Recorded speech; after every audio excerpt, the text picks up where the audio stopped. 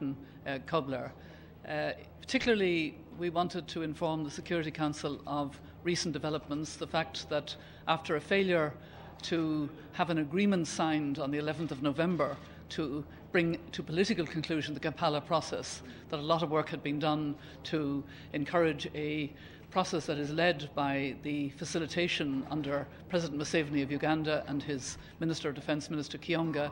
And we hope that tomorrow, the 12th of December in Nairobi, there will be a document co signed by President Museveni and uh, President Joyce Banda uh, to capture the uh, uh, detailed arrangements that had already been agreed to um, in the uh, Kampala dialogue process that are still relevant, including um, the amnesty for those who have not committed crimes against humanity or other serious crimes, and a process of demobilizing M23 and having them return. And President Kabila has made it clear that he is an, a, keen to see the return not only of those who fled to Uganda more recently from M23, but the earlier ex combatants who fled to uh, Rwanda. Uh, we also uh, discussed the general refugee issue and the steps that were being taken, which Martin Kobler will outline, um, to address the other um, armed uh, groups. And uh, the main message that I had conveyed on a recent regional visit um, was that we now need to go forward with a broader mediated dialogue under the peace, security, and cooperation framework, but also a peace dividend for people in the region. And I was happy to say that we have now concluded a, a women's uh, Great Lakes platform for communication and funding of women's groups that are working in the area of um, uh, the Security Council Resolution 20, 1325, um, meaning that they are also looking at the benchmarks and indicators at regional and at DRC level under the framework. Secondly, women's groups dealing with violence against women and women affected by violence, women's groups dealing with livelihoods and with access to clean energy, that they will get support um, directly from the uh, fact that they are part of a platform under the peace, security, and cooperation framework. It's time for people of the region to feel that the framework is making a difference in their lives through a peace dividend. Thank you. Thank you very much. I had the chance to brief uh, the Security Council today, in particular, on the military developments in the Democratic Republic of Congo, but also on important political developments. Now, on the military side, um, as far as uh, after the M23 uh, problem is militarily at least solved, MONUSCO is concentrating on the other armed groups, including, and in the first instance now, uh, on the FDLR and uh, the operation started on the 27th of November. Uh, and yesterday and the day before yesterday, uh, important progress was made to clear areas and streets of FDLR positions. We will go, go on with this uh, fight against all our groups, including FDLR, but also the ADF more in the north. Uh, this is very important. I brought a message of hope to the Security Council. I think the situation is different now in the DRC after the end of the fight against the M23. Many areas are liberated. We create islands of stabilities in these areas, and you see it in the eyes of the population. There is still some hesitance, but there is a chance, at least, that this time the situation is irreversible and we are not entering in a few years from now in a new era, era of, of, of violence here. But this requires not only military action, it requires in particular civilian, determined civilian action. To have the civilians catching up, getting health getting education, getting security and stability, regulating the root causes. One of them is the conflict minerals in an incredibly rich country. To address all these problems, otherwise, the military success will fail uh, and uh, we will back to square one. Military success is important, but the civilian uh, efforts to restitute state authority, to decentralize the country, to have democratization and elections, this is very important. Um, I had also the chance to brief the Security Council now on the wave of surrenders, uh, the DDR process. It's very important that now people do not see any value anymore in fighting. They want to go back to civilian life. They want to be reintegrated. I think this is a positive development, but also here it is very important uh, to take the opportunity and to take this chance in order to give them a perspective in life, in particular the young population. 70% of the population of the DRC is below the age of 17, and they deserve a future in prosperity, stability, and peace. And uh, I think we made in the last weeks, we made in the last months, uh, we made uh, important progress, but it is the first step. And I'm very happy that we, as international envoys, in particular Mary Robinson, myself, who covers the back in the regional, in, in her regional efforts, uh, because military, civilian, but the regional buy in of a development which should aim at stability, at peace, at restitution of state authority requires uh, the cooperation of both of us. And I'm, I'm quite happy we have such a good cooperation and such a good uh, understanding on the way how to proceed in the future. Thank you very much. Sure.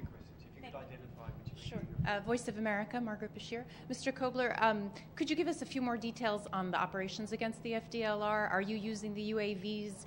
Uh, what is what is the role of the force, uh, the intervention brigade, uh, such uh, like that? And how many FDLR do you think there still are in eastern Congo? Well, we estimate uh, the uh, amount of FDLR combatants at around well 1500, 1800, uh, but this uh, is something which is uh, which is difficult to say. Most of them are young people. 70% are young people below the age of, um, uh, of 30. They were not involved in the 1994 genocide, so it is easier for them also to surrender to us. And we had quite a number of surrenderies. A whole platoon every month is surrendering without fighting. Uh, we started on the 27th of November in a, a city called Pinga um, which we liberated from several armed groups, including FDLR, but also Warlord called uh, Cheka, Nyatura, APCLS, FDLR. And this we use as a basis now for actions against other FDLR positions. Yesterday and the day before yesterday, and this is very important, the street between Pinga and another, uh, uh, another uh, area opening the way to Goma on the road uh, was cleared by FDLR and APCLS positions. This road was closed two years. And from yesterday on, people can bring their vegetables they, uh, to Goma market. They can visit their families outside the area after two years paralysis and being having been terrorized uh, by uh, armed groups in this area. I'm sure you, obviously you've seen, and MONUSCO played a role in this report about post-electoral electoral violence and, and the failure to prosecute those, those involved in it. I wanted to know what is the mission, or, or, or, or Ms. Robinson, what's going to be done to have the government actually bring the, the, the, named perpetrators to account? And also on the Minova rapes, I know that the trial began. Some say that the you know, commanders weren't, weren't named or that it's going. What's your sense of it? And what deadline has the UN set to actually either implement the human rights due diligence policy or not? based on the outcome of the trial? Well, the human rights due diligence policy is an ongoing process. We only work together with FARD units, FARDC units, uh, which are vetted and which correspond to our human rights due diligence policy. Um, and you did not hear of major human rights violations in eastern Congo now since August or September. We observe this very intensely. Um, this is totally different like a, like a year ago, but it cannot be excluded. And we have now reports of, of increasing uh, human rights violations, also of the FRDC, also of uh, vetted units. And we check with the units we are cooperating with uh, every single detail. On Minova, the um, legal proceedings are going on. Um, this is very important that there is accountability and uh, the fight against impunity. Um, the uh, military court uh, is uh, is doing this in the um, in, in, in Goma. Uh, the, at this stage, um, the 41 people are indicted. So far, it opened end of um, uh, end of November only the 40 were, were interrogated, were, uh, were questions, but no victims yet.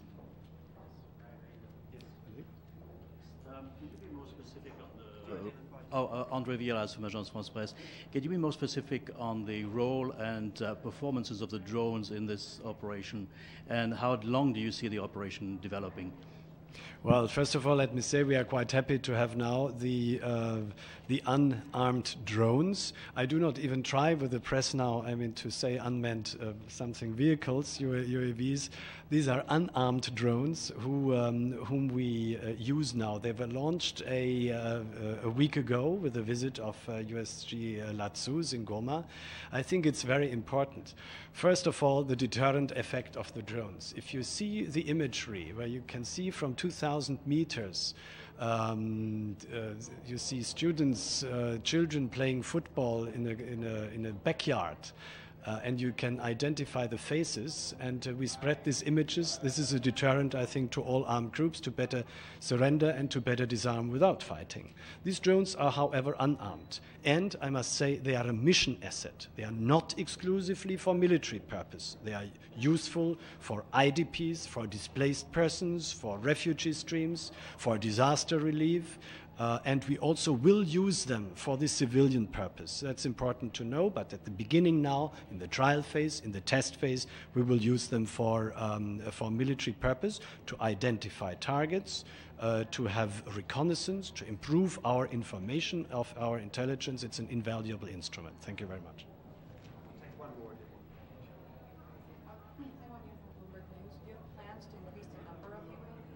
And would you say that the amount of military success you've seen so far is due to the amount of information provided by these Last UAVs? question I didn't get.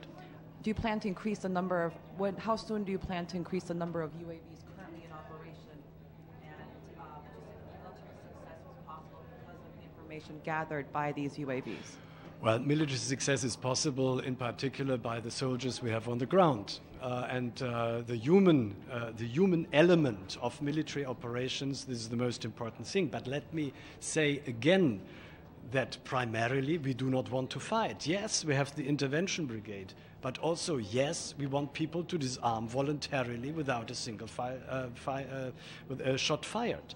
Now the UAVs, we have two on the ground now. We have uh, three more coming until uh, beginning of next year, and this will improve our intelligence capacity to uh, to have should fighting, uh, should we enter into fights with uh, now during the current fighting with armed groups to improve our capability uh, to have information, not to expose our people um, to uh, to risks. One, one important topic, I gave clear guidance to use also the UAVs uh, to avoid civilian casualties during the fighting. This is very important for um, a intervention brigade of the United Nations to say, yes, we fulfill the mandate. Yes, we target and neutralize offensively armed groups, but not with the risk of having civilian casualties.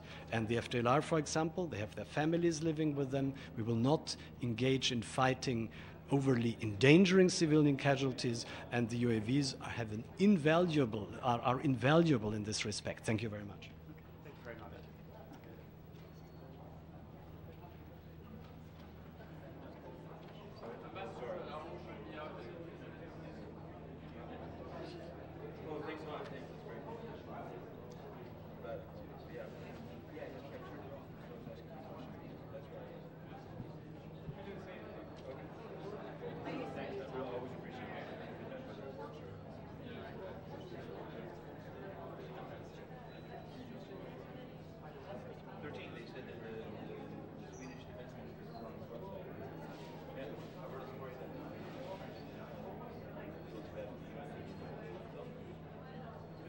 Again, they can, they can be, you are going to connect with them.